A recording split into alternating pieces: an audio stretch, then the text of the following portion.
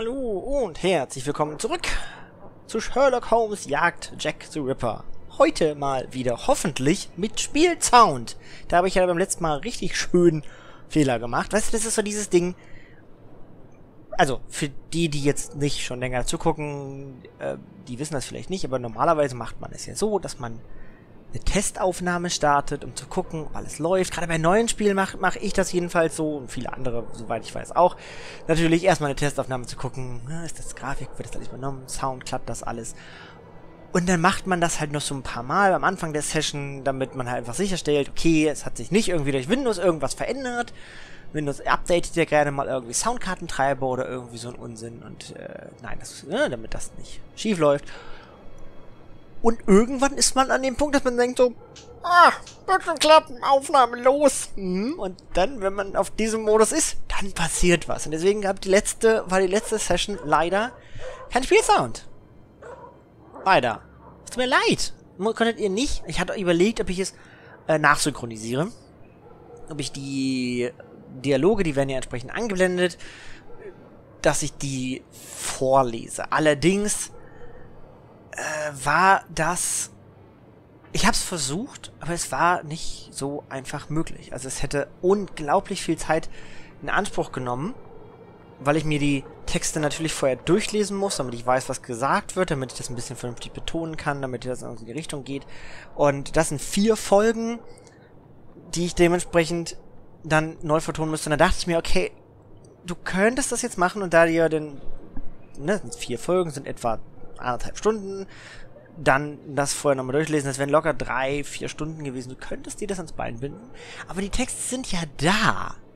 Und da dachte ich mir so, bietet das Vorlesen jetzt an dieser Stelle so viel Bonus und würde das nicht vielleicht sogar noch mehr verwirren, weil ich ja kommentiert habe, das war ja drin in meiner Kommentierung, und dann könnte das ja verwirren, dass ihr meine Stimme, die normalerweise einfach nur meine Gedanken rüberbringt, jetzt auch noch die Gedanken von Sherlock und Watson und anderen Leuten mit rüberbringt. Da war ich mir nicht so sicher. Dass, so dolle kann ich meine Stimme halt nicht verstellen. Ich hatte es auch beim einen Mal versucht. Aber das hat nicht so geklappt. Ich konnte auch für diese Dauer dann nicht die Stimmen beibehalten. Also, ich weiß ich nicht. Ich hätte das Gefühl, dass ich das nicht beibehalten kann. Vermutlich hätte ich es schon hinbekommen. Kein Plan. Ich habe es nicht lange versucht. Aber im Endeffekt hatte ich mich dann, wie ihr mitbekommen habt, dafür entschieden, nicht neu zu vertonen und gesagt, okay, die Verwirrung wäre vermutlich zu groß. Die Texte sind da, die könnt ihr euch in Ruhe durchlesen, wenn ihr das möchtet. Ähm, beziehungsweise so oder so. Und dann kommen wir in den vier Folgen damit klar. Jetzt läuft aber alles. Wir haben wieder Ton und wir gehen jetzt in die Baker Street zurück, damit wir erfahren, was Sherlock sich so überlegt hat.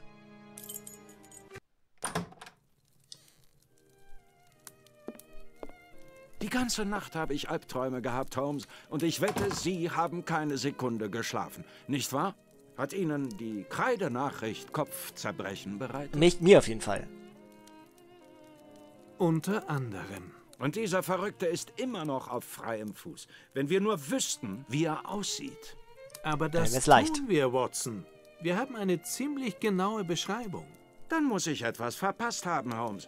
Nicht nur, weil ich weiß, dass Sie den Aussagen unserer Augenzeugen wenig Bedeutung beimessen, sondern auch, weil die wenigen Beschreibungen, die wir haben, nicht zusammenzupassen scheinen.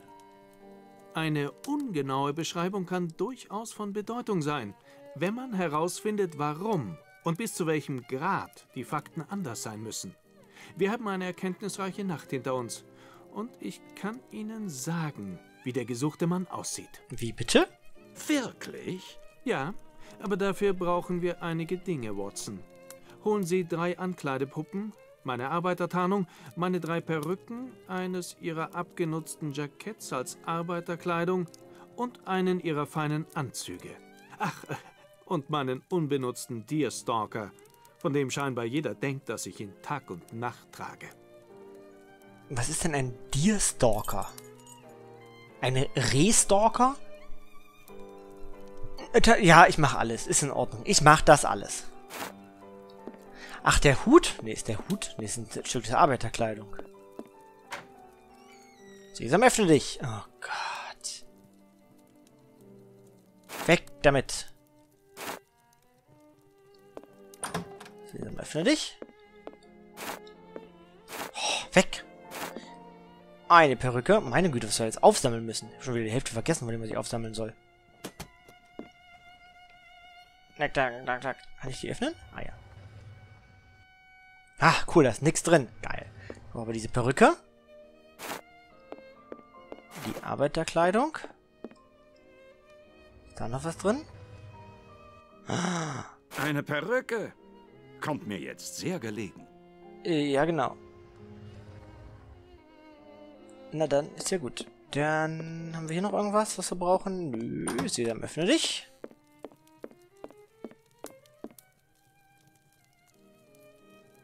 Willst du mir sagen, dass das der Mörder ist? Passt auch irgendwie nicht rein, ne? Warum stehen die da? Gib weg. Für einen der Morde gibt es keine Zeugen. Hinsichtlich der anderen drei Morde haben wir jedoch mindestens jeweils eine Person, die behauptet, das Opfer wenige Minuten vor seinem Tod bei einer Unterhaltung mit einem Mann gesehen zu haben. Wissen Sie noch, wer diese Zeugen waren, Watson? Nein. Warte, ich bin noch nicht fertig. Ich will noch eine Puppe. Ganz entspannt. Lass mich einmal die, die letzte Puppe finden. Und noch ein paar andere Klamotten, die uns offensichtlich noch fehlen.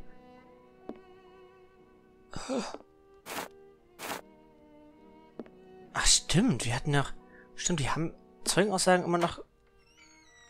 Ein Horrorspiel würde ich übrigens das eher nicht so aufmachen, muss ich sagen.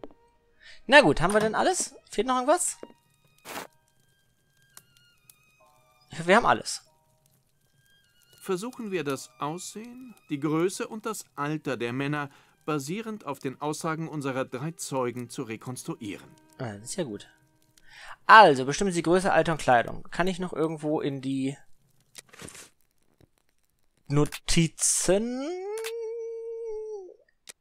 Oh Gott, jetzt geht's, jetzt geht's los. Jetzt müssen wir alles nochmal durchgehen, was wir irgendwie bekommen haben. Auch Dialoge, Notizen. Meine Güte, okay, wir haben das. Ermordung. Der Resurrektionstatergang. Hier haben wir das erste. Und zwar die Zeugenaussage von E. Long. Sie beschreibt den Mann, den sie mit dem Opfer gesehen hatte, wie folgt. Alter mindestens 40 Jahre, Größe etwas größer als die Frau, mit der er sich unterhielt. 5,3 Zoll, wie auch immer. Also, fangen wir mit dir an. Wir haben etwas größer, also sagen wir 5,4 Zoll. Altersmittel etwa 40. Kleidung, brauner Deerstalker-Hut, abgenutztes Jackett. Was ist denn ein Deerstalker-Hut? Das. Und was haben wir noch? Besondere Merkmale, dunkles Haar, dunkler Schnurrbart, dunkler Tar. Dunkler Perücke. Mit Schnurrbart. Was kann auch das sein, oder?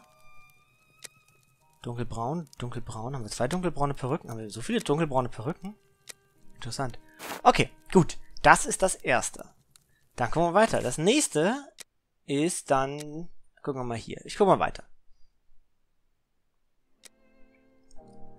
Hier haben wir dann die Aussage von Abraham, die wir beim letzten Mal mitbekommen haben, wo sein Freund Joseph, nee, nicht Joseph, sein Freund, sondern der andere, beschrieben hat, dass der Mann etwa 30 Jahre alt gewesen ist und ungefähr 5,7 groß gewesen ist. Also, das ist hier. Ich habe mal auch, das kann man hier markieren. Das ist richtig gut. Also, 5, 7 und 30. Da kann etwas nicht stimmen, Watson.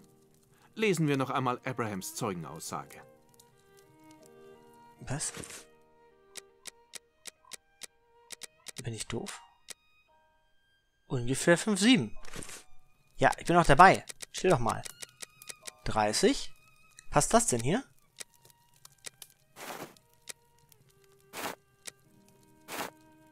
Ausgezeichnet.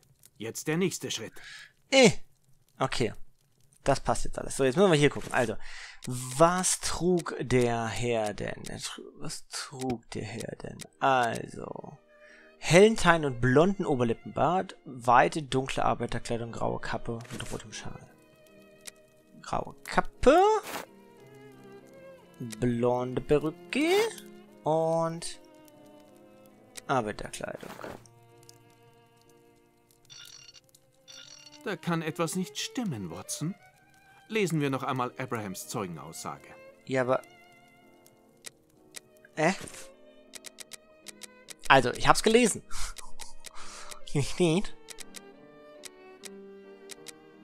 Der Mann muss etwa 30 Jahre alt gewesen sein und ungefähr 5 5-7 2 Strich groß gewesen sein. Also, ähm, er könnte sich nur daran erinnern, dass der Mann etwa 3 Zoll größer war als die Frau, die höchst, selbst höchstens 5 Fuß groß gewesen ist. Ja, aber dann passt das hier offensichtlich nicht zusammen. Dann müsste es auch 5,3 gewesen sein. Perfekt, Watson. Okay. Denn ist das, warum stimmt da 5? In der Tat, Watson, das ist die richtige Größe für Abrahams Ankleidepuppe. Die Aussage von Mr. Solomonowitsch Freund kann mindestens in einem Punkt nicht stimmen. Der erste Joseph sagte, dass der Mann mindestens 5 Fuß 7 Zoll groß sei. Der zweite Joseph gab jedoch an, dass der Mann etwa 3 Zoll größer als das Opfer sei, das, wie wir wissen, höchstens 5 Fuß groß war. Daraus lässt sich ableiten, dass der Mann etwa 5 Fuß 3 Zoll groß ist. Vergessen wir nicht, dass es der zweite Joseph war, der seine Freunde auf das Paar aufmerksam gemacht hat. Wir können also davon ausgehen, dass er sie nicht nur flüchtig gesehen, sondern länger beobachtet hat. Das macht Sinn, dann bin ich durcheinander gekommen. Der junge Constable Smith muss sich bei seiner Aussage bezüglich der Größe des Täters getäuscht haben. Es handelt sich um einige Zoll und wir können seine Größenangabe an die Größe der beiden anderen Ankleidepuppen anpassen. Hm. Ähm, dann bin ich durcheinander gekommen mit den, mit den Josephs. Gut, jetzt müssen wir noch die letzte Zeugenaussage finden. Das wird wieder ein bisschen dauern.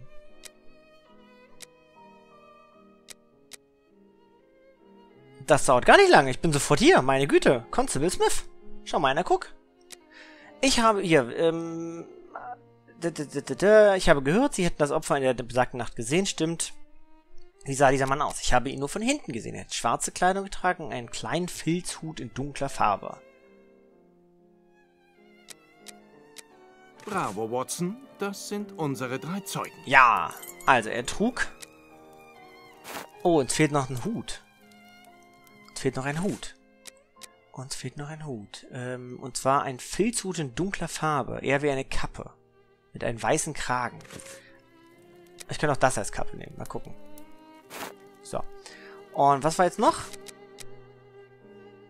Der, der, der, der schien eher zu den ansehnlichen Leuten gehören, deswegen dieser edle Anzug.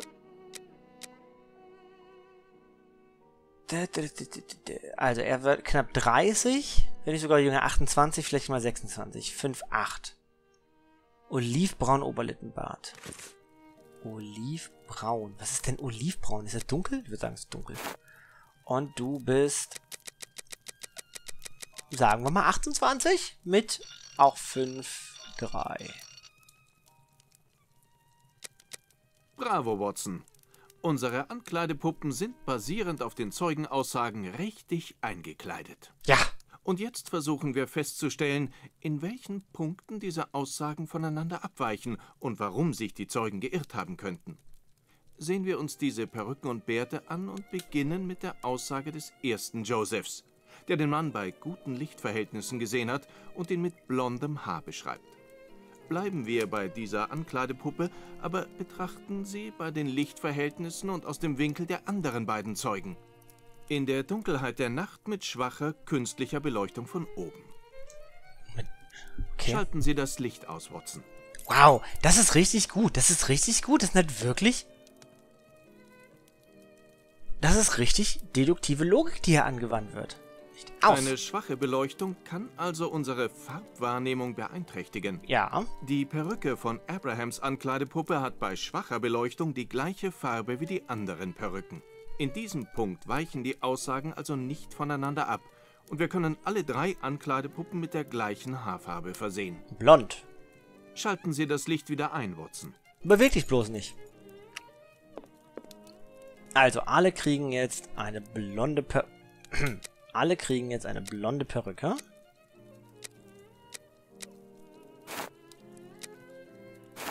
Bitte sehr, Holmes. Gut gemacht, Watson. Bezüglich der Haarfarbe des Mörders sollte Abrahams Aussage die zuverlässigste sein, da Joseph der Einzige war, der den Täter bei guter Beleuchtung gesehen hat. Seine Haare müssten daher blond sein. Wie Ja. Sie sehen, Watson, ist es für einen Augenzeugen nicht leicht, objektive Schlussfolgerungen zu ziehen. Aus diesem Grund sollten wir auch die unterschiedlichen Angaben bezüglich des Alters unseres Mannes erneut überprüfen. Selbst wenn Sie einer Person bei guten Lichtverhältnissen mehrere Stunden lang direkt gegenüberstehen, inwieweit können Sie Ihr Alter wirklich exakt bestimmen? Völlig korrekt. Und erst recht, wenn Sie diese Person nur für einige Sekunden sehen und vielleicht sogar nur von hinten. Wir müssen eine gewisse Abweichung einkalkulieren, wenn wir die Zeugenaussagen berücksichtigen und trotzdem wissenschaftlich bleiben. Was jetzt genau? Altersabweichung. Willst du mich rollen? Wieso 7 von 10? 3 von 5? Also, uh, also wir haben Constable. Du hast den Mann nur von hinten gesehen. Das heißt, von hinten und nur mal so eben schnell ist, glaube ich, ziemlich schwierig. Das heißt, er hat, glaube ich, die größte Abweichung. War das denn bei Licht? Warte mal, du hast äh.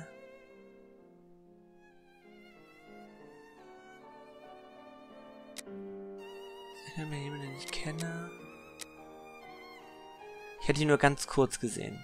Auf der anderen Seite, jetzt weiß ich natürlich nicht, wie weit sowas mit reinspielt, glaube ich, dass ein Polizist eher in der Lage ist, objektiv schnell Informationen wahrzunehmen und wieder abzurufen, da das ja irgendwie auch ein bisschen zu seinem Beruf gehört, schnell winzige Details abzuwägen. Ist es eine potenzielle Gefahrenquelle? Was ist da los? Muss ich hier vielleicht einschreiten? Also das ist, glaube ich, etwas, worauf Polizisten eher geschult sind als normale Dudes und Dudins. Deswegen. Aber er hat, glaube ich, am wenigsten genaue Angaben, weil von hinten und nur kurz. Das war seine. Das heißt, hier würde ich sagen, ach guck mal, das ist ja, hä?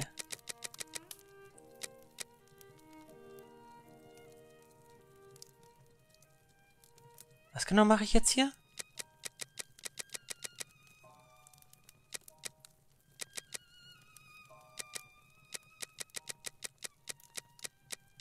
Was genau mache ich jetzt hier gerade? Das verstehe ich gerade nicht, was ich hier gerade tue. Für die Ankleidepuppe von Smith können wir eine Abweichung von sieben bis zehn Jahren tolerieren. Er hat den Mann nur von weitem und im Dunkeln gesehen. Smiths Ankleidepuppe mit einer Abweichung von sieben bis zehn Jahren. Ach so, das heißt 7 bis 10. Das heißt zum Beispiel von 18 bis 34 und von 19 bis 33. Perfekt, Watson. Wir dürfen nicht vergessen, dass laut Abraham der erste Joseph den Täter aus nächster Nähe gesehen hat. Deswegen wird seine Einschätzung höchstens einige wenige Jahre vom tatsächlichen Alter des Täters abweichen. Für Abrahams Ankleidepuppe dürfte eine Abweichung von drei bis fünf Jahren angebracht sein. Was immer noch ganz schön präzise ist, wie ich finde. Das heißt, Das war's. Ausgezeichnet. und hier, was war bei dir? Es wäre nicht unklug, wenn wir dieser Zeugenaussage mit einer gesunden Skepsis gegenüberstehen würden. Für Longs Ankleidepuppe sollten wir eine Abweichung von sieben bis zehn Jahren bemessen. Warum? Was war das denn? Was war denn bei dir nicht in Ordnung? Das war aus der Zeugenaussage von Elong. Äh, die Zeugen sind sicher, weil sie angibt, beim Abbiegen auf der Straße gehört haben, wie die Uhr so vor der Handtür schlief, sah sie, wie sich ein Mann mit einer Frau unterhielt. Zeuge hat die Leiche, okay, ähm. Es war, hm. Sie sah den Mann nur von hinten? Okay. Sie sah den Mann auch nur von hinten. Okay, na gut. Das heißt 31. Ich weiß nicht warum. Also das verstehe ich nicht, warum ich das hier mache gerade. Einfach die Zahlen da jetzt eintragen. Das, ist- das sehe ich gerade nicht, muss ich sagen. Was mir das jetzt bringt, diese Das Einteilung. war's. Ausgezeichnet. Bitte sehr, Holmes. Jetzt, da wir uns die Zeugenaussagen genau angesehen haben, lassen Sie uns überprüfen, inwieweit sie übereinstimmen. Wenn wir für jede Ankleidepuppe die Abweichung berücksichtigen, können wir daraus das Alter des Mörders so exakt wie möglich ableiten.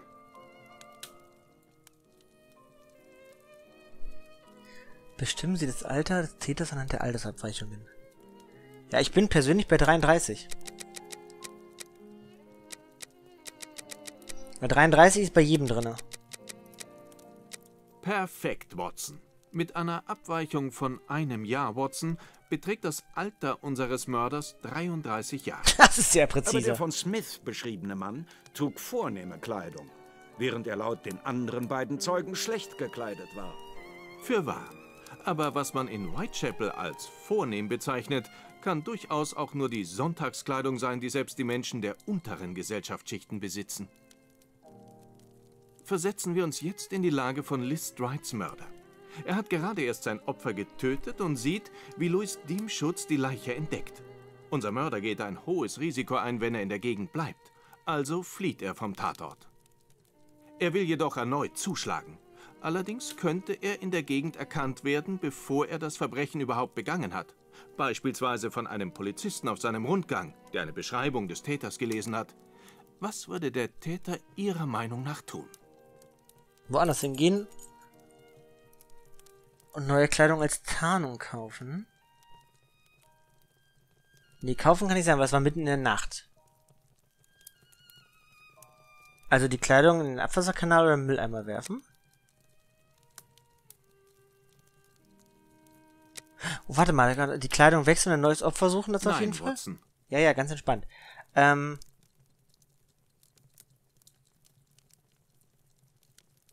Ah, nein, das ist wohl nicht richtig.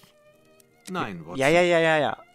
Die Kleidung in einen Abwasserkanal oder Mülleimer werfen und anschließend ein neues Opfer suchen. Das kann ich mir nicht vorstellen, Watson. Jemand aus einer unteren Gesellschaftsschicht würde seine Kleidung nicht so verschwinden lassen. Was? Okay. Ah, nein, das ist wohl nicht richtig. Also neue Kleidung Ah, kaufen Nein, das ist wohl nicht richtig. und den zweiten Mod filmen? Ah, nein, das ist wohl nicht richtig. Nein, Watson.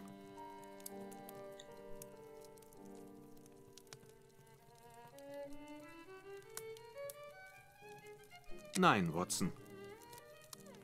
Nein, Watson. Nein, Watson. Nein, Watson. Nein, Watson. Also, Nach Hause oder an einen sicheren Ort gehen, die Kleidung wechseln und dann ein neues Opfer suchen. okay. Das ist die einzige plausible Erklärung, Watson. Der Mann ist an seinen sicheren Wohnort zurückgekehrt und hat dann beschlossen, mit anderer Kleidung erneut eine nächtliche Gräueltat zu Das begehen. würde aber sehr stark einschränken, wo er wohnt. Könnte eine Erklärung für die unterschiedlichen Zeugenaussagen bezüglich der Kleidung sein.